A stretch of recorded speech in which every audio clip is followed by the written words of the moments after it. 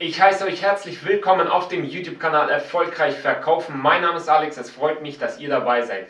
Es geht weiter mit der eBay-Reihe. Letztes Mal haben wir uns beschäftigt damit, wie wir uns gewerblich bei eBay registrieren. Wenn du dieses Video noch nicht gesehen hast, dann schau es dir hier oben an, ich blende es ein. Und heute geht es darum, wie wir Rechtstexte ähm, bei den Einstellungen einstellen und äh, es geht da um Impressum, es geht ums Widerrufsrecht, äh, um äh, die AGBs und so weiter. Äh, wo bekommen wir diese Texte her, beziehungsweise wie stellen wir das Ganze ein? Das schauen wir uns heute an. Wenn du das nicht verpassen möchtest, dann bleib dran, es geht direkt weiter. So, nun geht es weiter mit der eBay-Serie und zwar gucken wir uns, wie schon gesagt, die, die Rechtstexte an, wie wir diese einstellen und wo wir diese überhaupt herbekommen. Wenn du diesen Kanal noch nicht abonniert hast und die ganze eBay-Serie mitbekommen möchtest und wirklich erfolgreich lernen möchtest zu verkaufen bei eBay und anderen Marktplätzen, dann abonniere diesen Kanal, drücke auf das Glockensymbol, um kein weiteres Video mehr zu verpassen. Ja, dann legen wir mal direkt los. Ich befinde mich hier bei eBay auf der Startseite und äh, wir schauen uns mal erstmal direkt an, äh, was genau wir heute einstellen möchten. Wir gehen mal auf dieses Angebot hier, ähm, Notebook und schauen uns mal ganz unten an die Rechtstexte, rechtliche Informationen des Verkäufers. Genau das müssen wir einstellen. Das ist das A und O, um wirklich gewerblich verkaufen zu dürfen. Solltet ihr keine Rechtstexte eingepflegt haben und stellt Artikel ein, seid ihr direkt abmannfähig. Und äh, da sind viele Unternehmen, die da wirklich äh, sehr professionell rangehen und die Leute suchen, die das äh, vermeiden. Es ist ja zum Teil ja schon, wenn man einen Satz oder ein äh, Wort schon nicht richtig stehen hat und das irgendwie nicht eindeutig der Rechtslage zuspricht, ist man schon abmahngefährdet. Deswegen ist es wirklich sehr, sehr wichtig, also das A und O, um wirklich verkaufen zu können. Und äh, hier seht ihr einmal, wie sowas aussehen kann. Also wir haben hier das Impressum von dem Händler. Wir haben hier vollständige Informationen wie eine Telefonnummer und eine E-Mail-Adresse. Die sind wichtig. Des Weiteren haben wir hier die EU-Kommission, äh, die stellt eine Plattform für außergerichtliche Streitschlichtungen äh, bereit. Das ist auch wichtig und was sehr wichtig ist, natürlich sowas hier. Darauf achten die auch.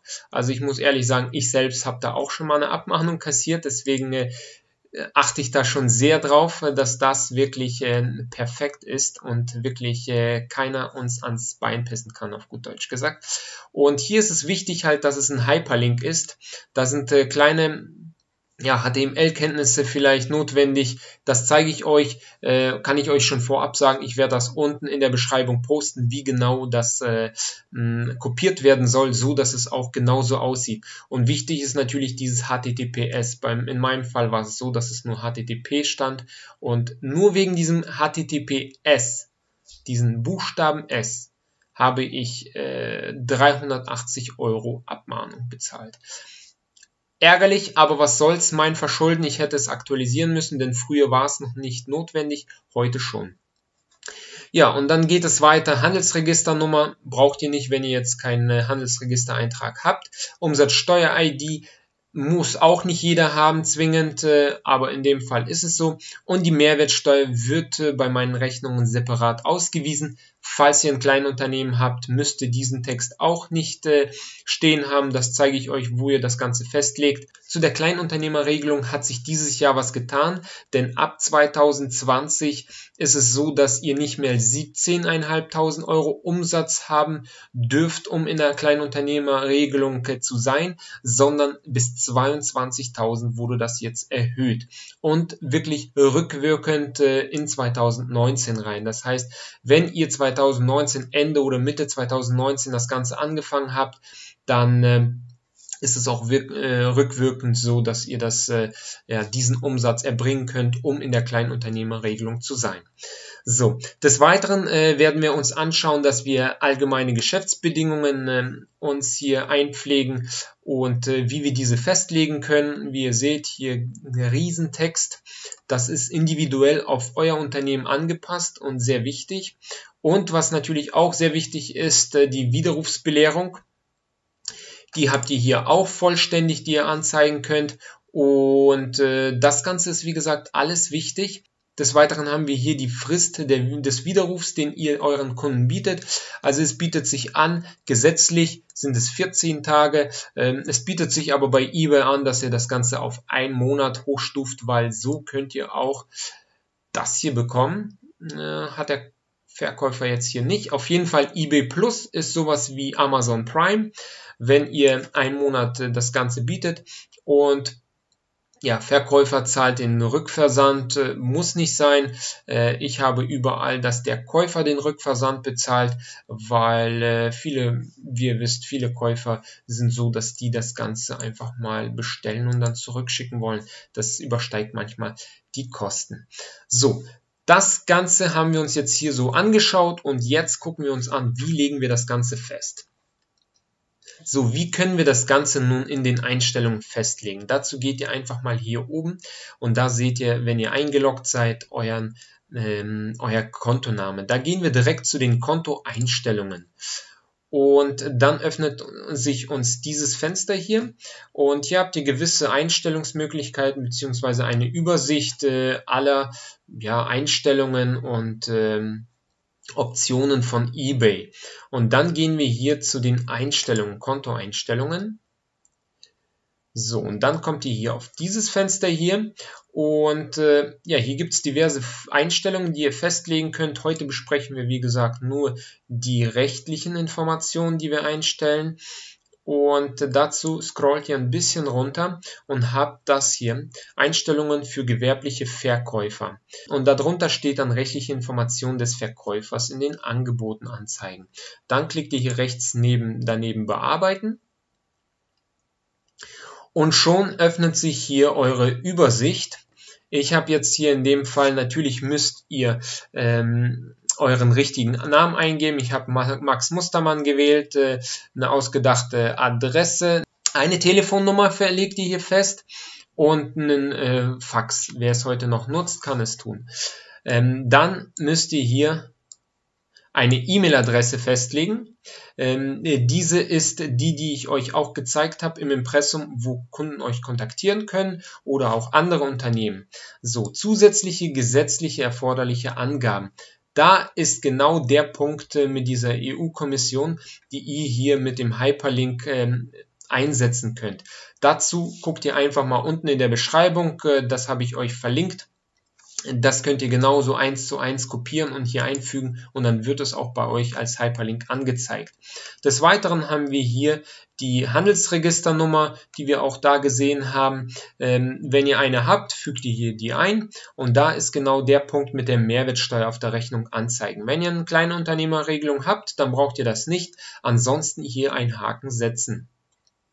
So, und dann haben wir schon hier die Ru Widerrufsbelehrung, die ihr hier, äh, wie gesagt, äh, festlegen könnt und hier einfügen könnt und dann die allgemeinen Geschäftsbedingungen. In den allgemeinen Geschäftsbedingungen ist natürlich auch die Datenschutzerklärung mit äh, inbegriffen. Und wo bekommen wir jetzt diese Texte her? Also es gibt Seiten, wo ihr das Ganze kostenlos bekommt. Ja? Ähm, ich bin aber nicht der Freund davon, denn äh, kostenlos ist meistens ja, meiner Meinung nach nicht immer korrekt und äh, wird auch nicht immer eindeutig aktualisiert. Hier empfehle ich euch Händlerbund. Ich habe einen Link unten verlinkt und äh, über diesen Link gelangt ihr dann hier auf diese Seite, wo ihr euch dann ein Paket aussuchen könnt. Und zwar sieht das Ganze so aus, dass ihr hier schon ab, äh, ab 8,90 Euro monatlich euch hier wirklich Rechtstexte besorgen könnt und diese wirklich hundertprozentig abmahnsicher sind. Und in dem Falle haftet dafür auch das Unternehmen, wie ihr hier seht. Ihr habt, äh, wir gucken uns das Ganze mal ins Detail an, ähm, jeden, der so gesagt äh, einen eBay-Account hat jetzt und kein Shop oder so, dann reicht das vollkommen aus. Hier die Basic-Version, ihr bekommt sogar einen Monat gratis, ja. Wir sehen, wir schauen uns mal an, was genau da inbegriffen ist. Also ihr habt für drei Internetpräsenzen könnt ihr hier Rechtstexte bekommen. Diese legt ihr dann fest und äh, kopiert sie dann einfach da rein in diese, in diese Flächen. So, Und äh, wie ihr sehen könnt, ist da mit der Basic-Version seid ihr schon sehr gut aufgestellt. Wer da ein bisschen mehr haben möchte, der kann das Ganze hier hochstufen auf Premium, Unlimited und so weiter. Ähm, ich empfehle da einfach nur die Basic-Version. Ich selbst habe die Unlimited-Version. Bei der Unlimited-Version habt ihr die Möglichkeit, äh, mit einem Anwalt persönlich zu sprechen, äh, wo ihr Fragen klären könnt, äh, was mit eurem Unternehmen zu tun hat und was telefonisch ganz einfach geht und zu jeder Zeit. Und das kostet euch nichts zusätzlich, nur dieser monatliche Beitrag. Und ja, wie gesagt, da könnt ihr die Rechtstexte herbekommen. Das Ganze habe ich euch unten verlinkt und schaut es euch an. Solltet ihr euch jetzt für eine kostenlose Variante entscheiden, dann ist es eure Sache. Ähm, ich, wie gesagt, habe das mit dem Händlerbund gemacht. Ähm, da gibt es sehr viele Dinge, die ihr dazu auch nutzen könnt. Ja, dann würde ich sagen, äh, dann speichert ihr das Ganze ab, wenn ihr das hinzugefügt habt. Und dann ist das Ganze auch getan. Ähm, dann ist der erste Schritt hier soweit getan. Und dann seid ihr schon auf jeden Fall mit dem Impressum und Rechtstexten gut versorgt, so dass ihr keine Abmahnung befürchten müsst. Im nächsten Video schauen wir uns äh, an, wie wir die Zahlungsoption einstellen und Versandoption einstellen. Ja, ähm, äh, da, wenn ihr das sehen möchtet, äh, guckt beim nächsten Mal rein, abonniert den Kanal, drückt die Glocke, um das Video direkt zu empfangen. Solltet ihr noch Fragen haben zu diesem Video oder irgendwas unklar ist, gerne unten in die Kommentare schreiben. Ich beantworte so schnell wie möglich.